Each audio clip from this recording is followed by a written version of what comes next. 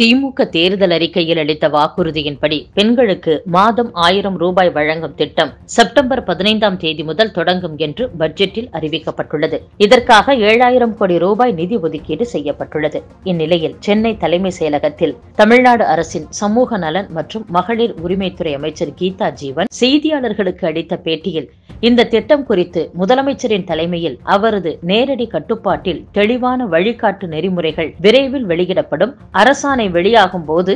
யார் யாருக்கு எத்தனை பேருக்கு உரிமை தொகை கிடைக்கும் என்பது தெரியவரும் முதியோர் முதியோர் உதவித்தொகை ஏழாயிரம் கோடி ரூபாய் நிதி ஒதுக்கீடு செய்யப்பட்டிருப்பதால் எவ்வளவு பேருக்கு கிடைக்கும் என்று சிலர் கணக்கு எல்லாம் போட்டு பார்க்கிறார்கள் எப்போதும் ஒரு திட்டத்தை தொடங்கும் போது தோராயமாக நிதி ஒதுக்கீடு செய்யப்படும் பின்னர் கூடுதலாக நிதி ஒதுக்கீடு செய்யப்படும் எனவே ஏழாயிரம் கோடியை வைத்து இவ்வளவு பேருக்குத்தான் கிடைக்கும் என்று முடிவு செய்ய முடியாது முதியோர் உதவித்தொகை பெறும் பெண்களுக்கு மகளிர் உதவித்தொகை கிடைக்க வாய்ப்பு இல்லை ஏனென்றால் அவர்கள் அவர்கள் ஒரு திட்டத்தில் பயனடைந்து வருகிறார்கள் நான் எனக்கு இந்த உரிமை தொகையை கேட்க முடியுமா அதுபோல லட்சக்கணக்கில் ஆயிரம் கணக்கில் சம்பளம் வாங்கும் பெண்கள் இந்த உதவித்தொகையை எதிர்பார்க்க மாட்டார்கள் என்பது என்னுடைய கருத்து எனவே தகுதியுடைய பெண்களுக்கு இந்த உரிமை தொகை வழங்கப்படும் என்றார்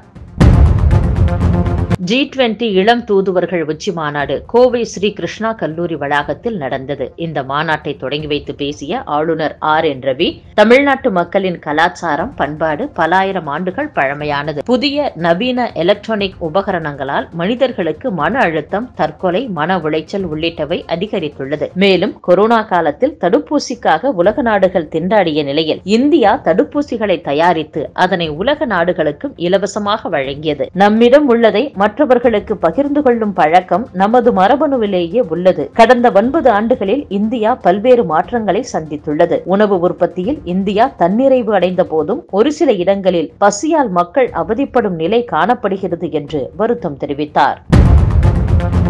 தஞ்சாவூரில் செய்தியாளர்களை சந்தித்து பேசிய அமமுக பொதுச் செயலாளர் டி டிவி தினகரன் அனைத்து குடும்ப தலைவர்களுக்கும் மாதம் ஆயிரம் ரூபாய் வழங்கப்படும் என தேர்தலின் போது கூறிவிட்டு தற்போது பட்ஜெட்டில் தகுதியின் அடிப்படையில் வழங்கப்படும் என அறிவிக்கப்பட்டுள்ளது இந்த திட்டத்தை செயல்படுத்தாதது குறித்து மக்களிடமிருந்து கேள்விகள் எழுந்ததை தொடர்ந்து தற்போது இதனை அறிவித்துள்ளனர் மேலும் அரசு ஊழியர்களுக்கு பழைய ஓய்வூதிய திட்டத்தை மீண்டும் கொண்டு வருவோம் என தேர்தல் அறிக்கையில் கூறியது தொடர்பான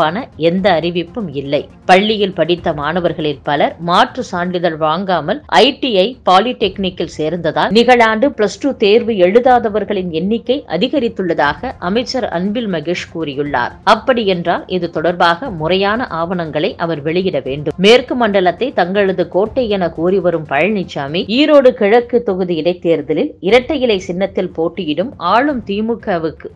இரட்டை இலை சின்னத்தில் போட்டியிட்டும் ஆளும் திமுகவுக்கு நிகராக செலவு செய்து செய்தும் இருபது மாத திமுக ஆட்சியில் மக்களுக்கு வெறுப்பு இருந்தும் திமுகவிடம் அறுபத்தி ஆறாயிரம் வாக்குகள் வித்தியாசத்தில் படுதோல்வி அடைந்துள்ளார் பழனிசாமி கையில் இரட்டை இலை சின்னம் இருக்கும் வரை அதிமுக செல்வாக்கு இழந்து கொண்டே வரும் தர்மயுத்தம் நடத்தியது தவறு என்று பன்னீர்செல்வம் உணர்ந்துள்ளார் ஜெயலலிதாவின் உண்மை தொண்டர்கள் அனைவரும் ஒன்றிணைய வேண்டும் என பன்னீர்செல்வம் கூறியுள்ளார் எனது கருத்தும் அதுதான் என தெரிவித்தார் தமிழகத்தில் இரண்டாயிரத்து இருபத்தி மூன்று இருபத்தி நான்காம் நிதியாண்டுக்கான பட்ஜெட்டை நிதியமைச்சர் பழனிவேல் தியாகராஜன் சட்டசபையில் தாக்கல் செய்த நிலையில் பல்வேறு அரசியல் தலைவர்களும் இதுகுறித்து கருத்து தெரிவித்து வருகின்றனர் அந்த வகையில் இதுகுறித்து கருத்து தெரிவித்துள்ள தேமுதிக தலைவர் விஜயகாந்த் மக்களின் வாழ்வாதாரத்தை உயர்த்த ஆக்கப்பூர்வமான எந்த ஒரு திட்டமும் இந்த பட்ஜெட்டில் இடம்பெறவில்லை அனைத்து பெண்களுக்கும் ஆயிரம் ரூபாய் உரிமை தொகை வழங்கப்படும் என அறிவிக்கப்பட்டது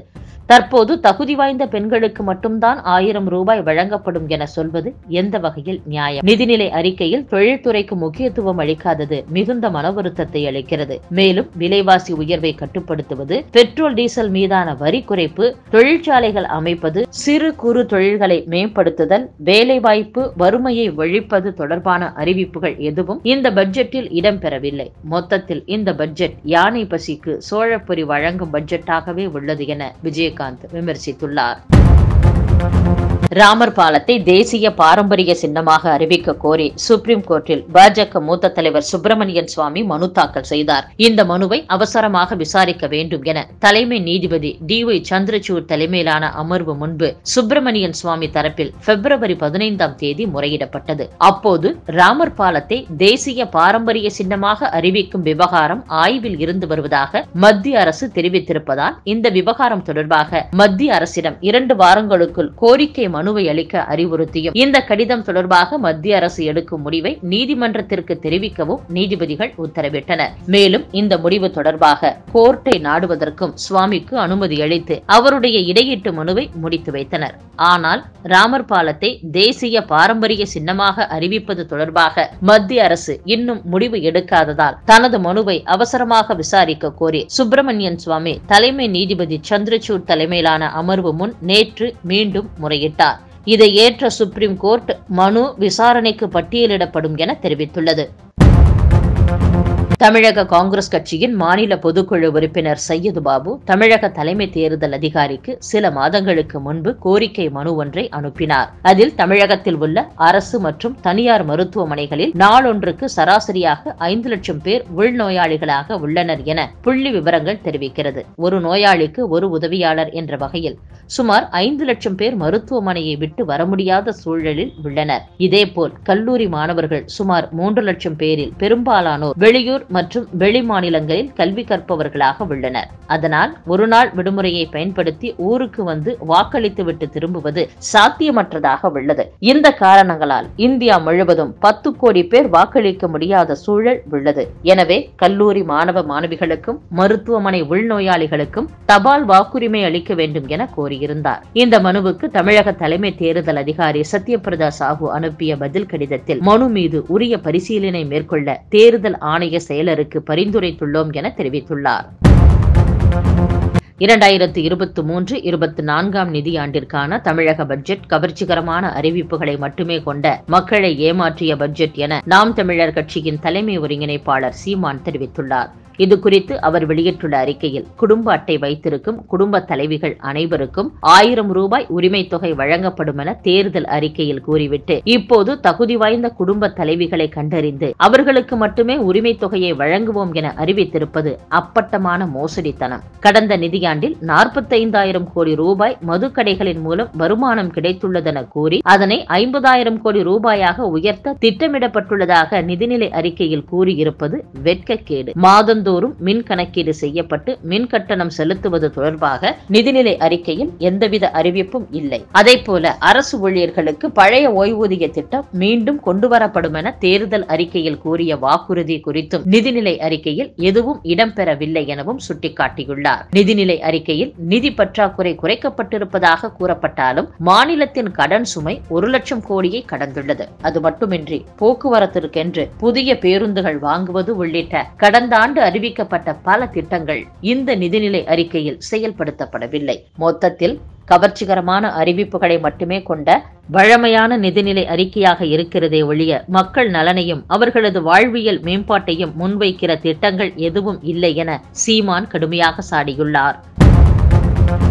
காரைக்காலில் காங்கிரஸ் கட்சி சார்பில் நடைபெற்ற ஒற்றுமை நடைப்பயணத்தின் நிறைவில் செய்தியாளர்களிடம் பேசிய புதுச்சேரி முன்னாள் முதலமைச்சர் நாராயணசாமி தமிழகத்தில் இன்று தாக்கல் செய்யப்பட்ட பட்ஜெட்டில் மக்கள் நல திட்டங்களுக்கு அதிக நிதி ஒதுக்கீடு செய்யப்பட்டுள்ளது தேர்தலில் கொடுத்த வாக்குறுதிப்படி குடும்ப தலைவிகளுக்கு மாதம் ஆயிரம் ரூபாய் தரும் திட்டத்தை ஸ்டாலின் தலைமையிலான அரசு அறிவித்தது பாராட்டுக்குரியது மேலும் மத்திய அரசின் உதவி இல்லாமலும் மத்திய அரசின் நிதி இல்லாமலும் மாநில அரசின் வருவாயினை உயர்த்தி சிறப்பான பட்ஜெட் தாக்கல் செய்யப்பட்டுள்ளது என முதல்வர் ஸ்டாலினையும் அமைச்சர் பழனிவேல் தியாகராஜனையும் பாராட்டினார் இரண்டாயிரத்தி இருபத்தி மூன்று இருபத்தி நான்காம் நிதியாண்டிற்கான தமிழக பட்ஜெட்டை முன்னாள் முதல்வர் ஜெயலலிதாவின் தோழி சசிகலா கடுமையாக விமர்சித்துள்ளார் இது தொடர்பான அவரது அறிக்கையில் குடும்ப தலைவிகள் அனைவருக்கும் மாதம் தோறும் ஆயிரம் ரூபாய் வழங்குவதாக சொல்லிவிட்டு இப்போது தகுதியான மகளிருக்கு ஆயிரம் ரூபாய் என்று சொல்லியிருப்பதன் மூலம் திமுகவின் உள்நோக்கம் என்னவென்று புரிந்துவிட்டது இதன் வாயிலாக அனைத்து ரேஷன் அட்டைதாரர்களுக்கும் மாதம் தோறும் ஆயிரம் ரூபாய் கிடைக்கப் போவதில்லை என்பது தெளிவாகிவிட்டது என்று சாடியுள்ளார் ஜெயலலிதா ஆட்சியில் நிகழ்ச்சியில் பெர்ஃபார்மன்ஸ் பட்ஜெட் என சென்ற ஆண்டு அறிவிக்கப்பட்டு நிறைவேற்றப்பட்ட திட்டங்களின் தொகுப்பை வெளியிட்டது போல் துறை வாரியாக பெர்ஃபார்மன்ஸ் பட்ஜெட் வெளியிட வேண்டும் அப்போதுதான் ஏற்கனவே அறிவித்த திட்டங்களின் கதி என்ன என்பதும் வெட்ட வெளிச்சமாகும் எனவும் சசிகலா தெரிவித்துள்ளார் நாடாளுமன்ற தொடர் முடக்கத்திற்கு யார் காரணம் என சமூக வலைதளங்களில் சாணக்கியா எழுப்பிய கேள்விக்கு பதினேழாயிரத்து முன்னூற்று நாற்பத்தி ஒரு பேர் வாக்களித்துள்ளனர் அவர்களுள் அது பாஜக அரசு என்று இருபத்து ஐந்து புள்ளி பூஜ்ஜியம் இரண்டு சதவீதம் பேரும் எதிர்க்கட்சிகள் என்று எழுபத்து நான்கு புள்ளி ஒன்பது எட்டு சதவீதம் பேரும் வாக்களித்துள்ளனர்